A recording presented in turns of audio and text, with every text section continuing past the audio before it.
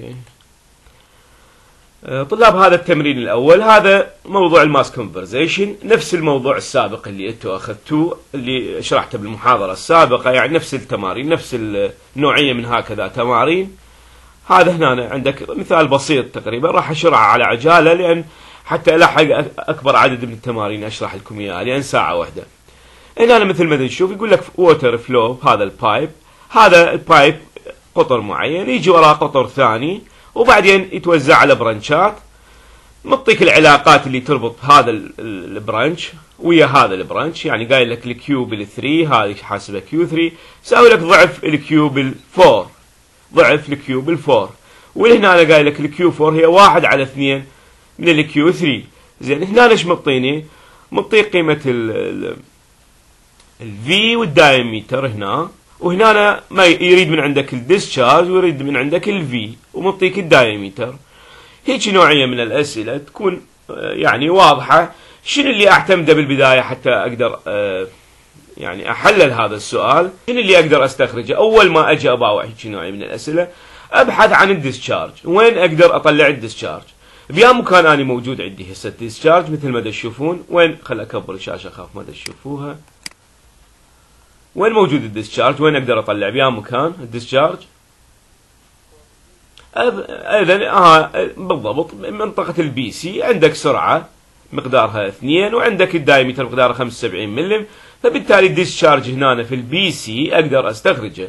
أول ما راح على ال BC قال Q 2 في 2 في قيمة ال A 2 ال V 2 معلوم وقيمة ال A 2 معلوم. فبالتالي طلع ال discharge قال طلع لنا قيمته 0.08 هنا ال discharge في ال BC شو يساوي لك طلاب؟ شو يساوي لك هنا ال discharge في ال BC؟ شو يساوي لك؟ يعني بهاي المنطقة ال discharge شنو اللي يساوي؟ بيا مكان ال discharge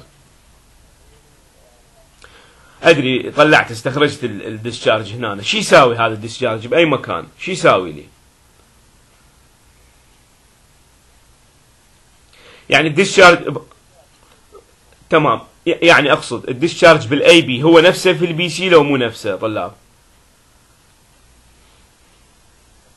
أكيد نفسيته أكيد نفسيته. فبالتالي أنا عندي ال Q في ال AB موجود قيمة ال discharge طلعته من ال BC هو نفسه بال AB فبالتالي أنا أقول هنا ال Q صار معلوم عندي وال diameter معلوم. تستخرج قيمة شنو؟ السرعة. تستخرج قيمة السرعة في قيمة في ال AB لأن عندك Q وعندك area فبالتالي السرعة بال AB تقدر تستخرجها.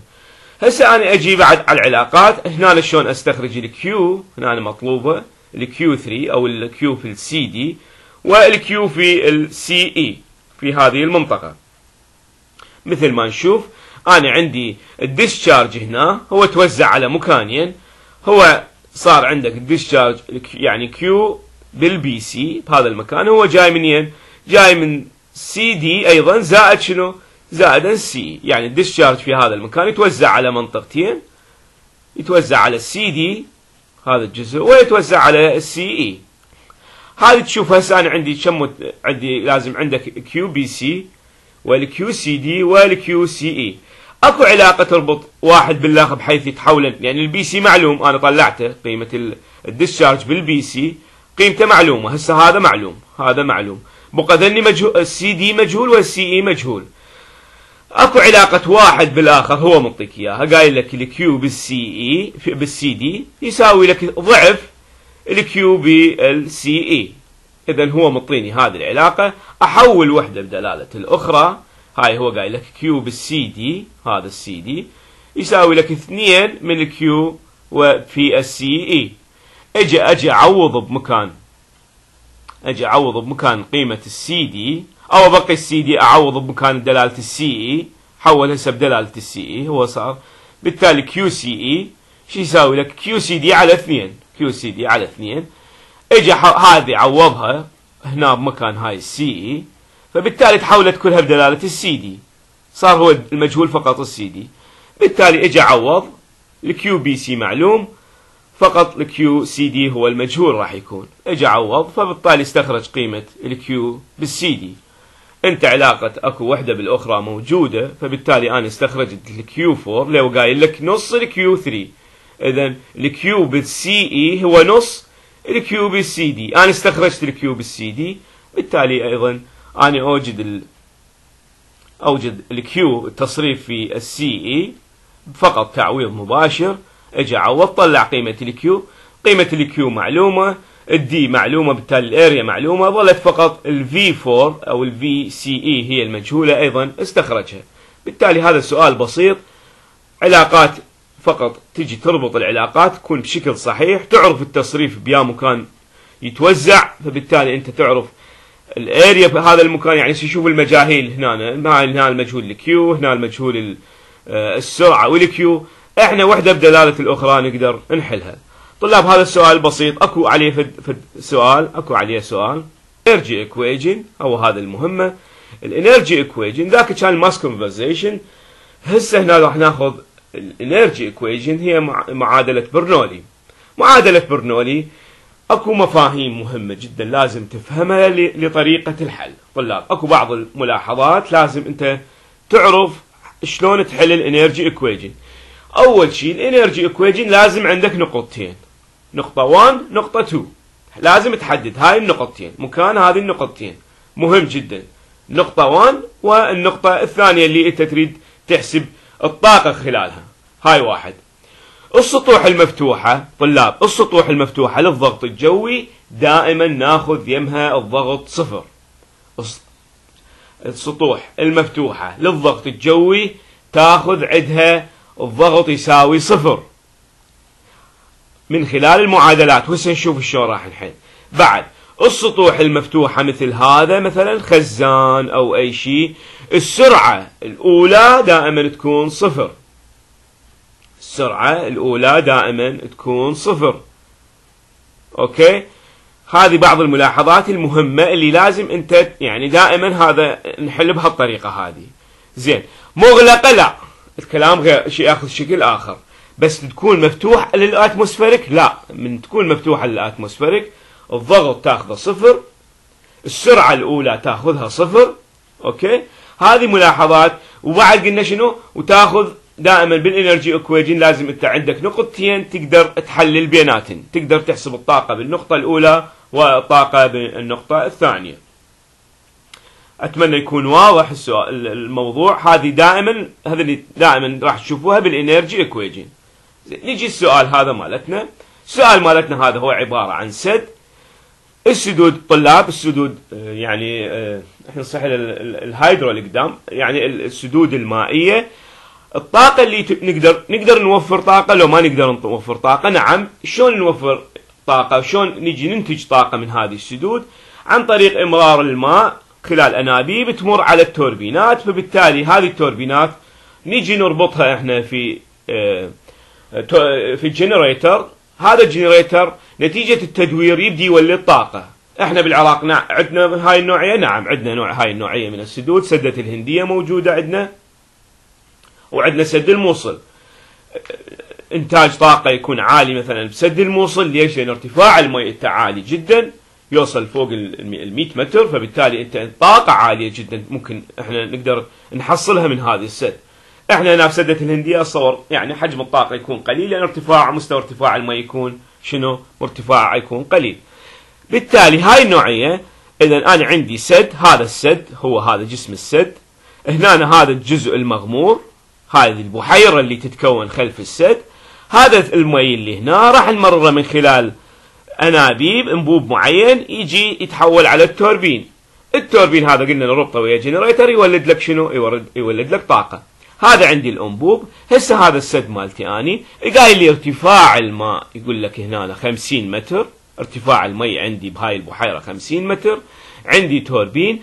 هذا طبعا أنا شلون امرر على التوربين؟ لازم من خلال انابيب خاصة يمر على التوربين ويخرج لي وين؟ يخرج إلى النهر يعني يخرج على الجزء الثاني من السد يخرج إلى الجزء خب أنا ما أحجز المي وين أوديه؟ لازم نخرجه آه، إلى خارج يعني يرجع إلى النهر زين هذا ال pipe هنا قايل لك بالمخرج ال diameter مالته هو واحد متر فبالتالي D2 هسه أنا أخذت نقطتين نقطة على سطح البحيرة نقطة الثانية على المخرج مالت المي هنا ال diameter قايل لي هو إيش قد؟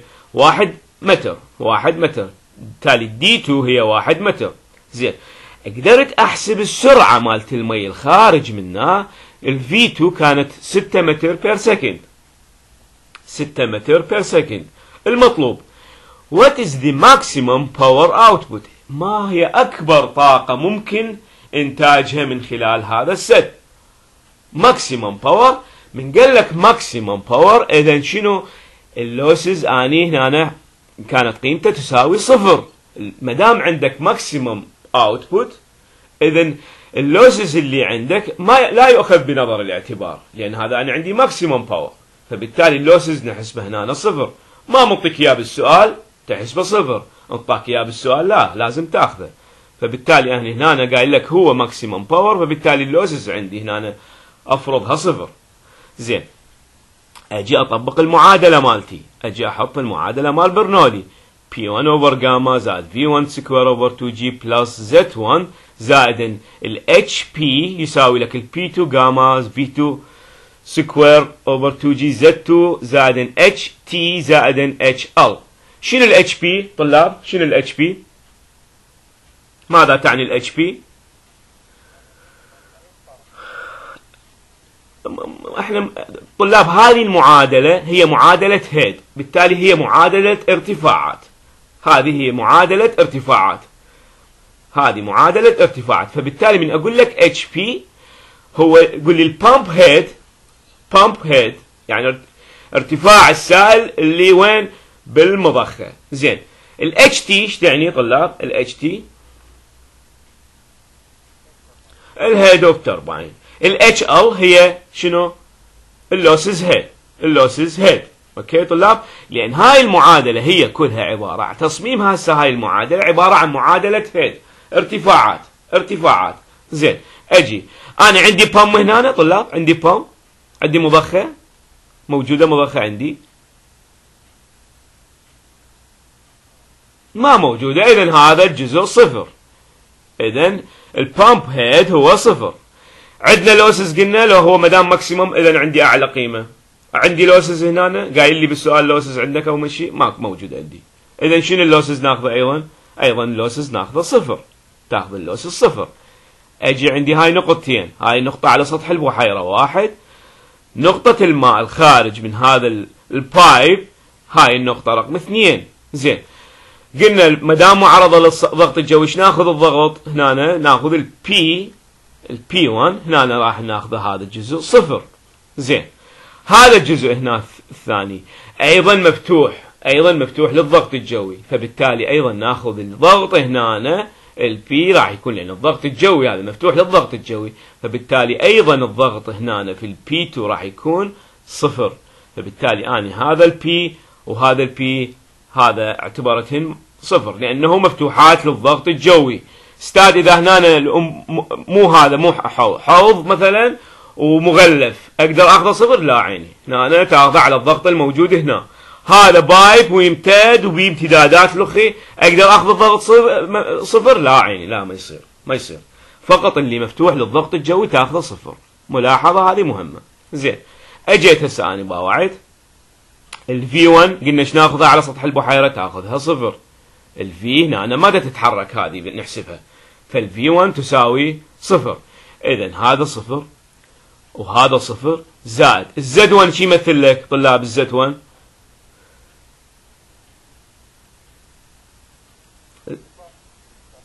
هو ارتفاع يعني ارتفاع البحيرة ارتفاع الماء بهاي البحيرة. فبالتالي العمق هاي مال البحيرة يمثل لي اللي هو Z1 اللي هو مثلا هنا 50 راح يكون. شو يساوي لك ال Z2 المستوى ال reference مالتك انت هو هنا ال reference ال reference مالتك هو هذا هنا فبالتالي هذا ال Z2 راح يكون صفر نيجي نباوع نعوض عن ال Z1 بال 50 وباقي الأجزاء كلها صفر شو يساوي لك؟ يساوي لك ال P2 تساوي صفر ال V2 ناخذها هو نفس المنطيك إياها اللي هي 6 متر per second فبالتالي 6 تربيع على 2 في G زائد شنو؟ زائد الاتش تي الاتش تي اللي هي انت تريدها. انت تريد تستخرج قيمة ال HT ال turbine head هسه أجي اعوضها اني هنا لقيت اني ال HT ال head turbine head مقداره 48.1 متر. زين ال power عندي من القوانين هي جاما في قيمة ال Q في قيمة ال HT gamma معلومة هي 9810 ال A2 لأن هنا بالمخرج أنا عندي فبالتالي ال A2 هي pi over 4 في ال D square في قيمة ال HT اللي عندي قيمة ال head turbine head إذا الباور راح يكون عندي قيمته مليونين وكسور فبالتالي أضربها في 10 أس. يعني حول إلى إلى الميجا تضربها في يعني القيمة نفسها في 10 أس 6 فبالتالي طلعت عندي أنا 2.22 ميجا واط. يعني هاي القيمة بالواط هاي القيمة بالواط فبالتالي أنا أحولها للميجا واط الميجا هي واحد في عشرة أس ستة فبالتالي يطلع عندي 2.22 ميجا واط